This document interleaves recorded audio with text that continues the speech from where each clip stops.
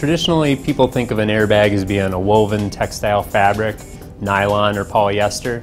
In this case, this is an injection molded airbag. A normal glove box has an outer door and an inner door like this. They're welded together and that serves the function of a glove box door. In this case, by integrating this airbag into the glove box, we save on the number of components that you typically have if you had to add a separate airbag.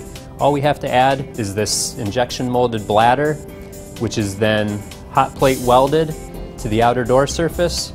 There's a gas generator, we call an inflator, that's inside the bladder, generates gas, inflates this bladder as shown here. This is in the deployed state, pushes the door out so it can serve the function of a knee airbag. We really wanted to pull out all the stops and try to figure out how can we reduce weight.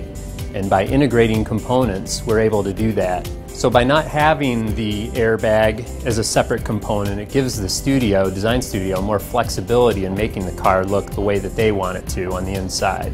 It allows the instrument panel to be moved further forward, giving the occupant a little bit more room. So we can make a car that's uh, smaller in size, but still feels large on the inside. The 2015 Mustang is going to be the first vehicle to have this unique technology. We're very pleased to be able to give Mustang this industry first airbag design that facilitates a more pleasing interior environment that's also more spacious.